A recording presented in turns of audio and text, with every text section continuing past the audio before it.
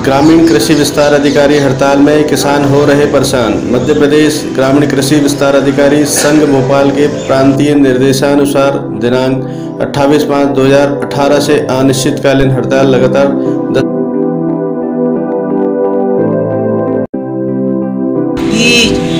भंडारण उपलब्ध नहीं है। हम किसान उस क्षेत्र के मोखड़ विकास खंड के आज दर दर की ठोकर खा रहे हैं। गौरी शंकर बिसेन कृषि मंत्री होने के नाते उसे कई बार हमने अवगत कराया कि हमारे क्षेत्र में समय सीमा पर राशन, खाद, बीज भंडारण कराने की कृपा करें, परंतु गौरी शंकर बिसेन ने आज तक हमारे क्षेत्र में ध्यान नहीं दिया गया है।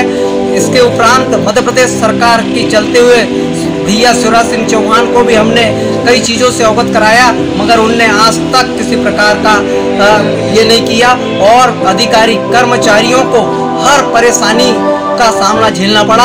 हम मोखेड़ के विकासखंड के चक्कर लगा लगा के परेशान हो गए। उसके उपरांत हमें परेशानी के कारण हम इस ज़िले तक आए और ज़िले के अधिकारियों से मिले। उनने बताया कि हम इस समय में हड़ताल में हैं। ऐसे स्थिति में हम किसान भाइयों का क्या होगा और कैसे हमारे क्षेत्र का विकास होगा? अगर माननीय मुख्यमंत्री जी हमारी हड़ताल नहीं मानते हैं तो इससे किसानों को बहुत सारी असुविधाएँ होंगी, उन्हें योजनाओं का लाभ नहीं मिल पाएगा। शासन से हमारी बार बार यही प्रार्थना है कि हमारी मांग को शीघ्र पूरा करें, जिससे किसानों को समय पर खाद, बीज और कृषि आदान सामग्री, योजनाओं और प्रदर्शन का लाभ मिल सके।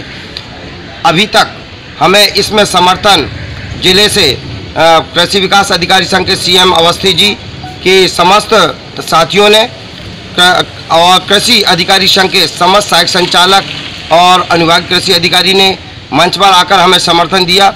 आज हमारे बीच में आदरणीय उद्यान अधीक्षक श्री कोरी जी ने भी आकर हमें समर्थन दिया।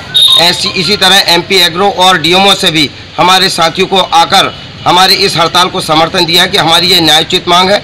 चूँकि यह उच्च न्यायालय के निर्णय के अनुसार है, हमने कहीं अलग से नहीं मांगा। है अगर न्यायालय का भी पालन शासन नहीं करती तो यह इससे बड़ा दुर्भाग्य और कुछ नहीं हो सकता।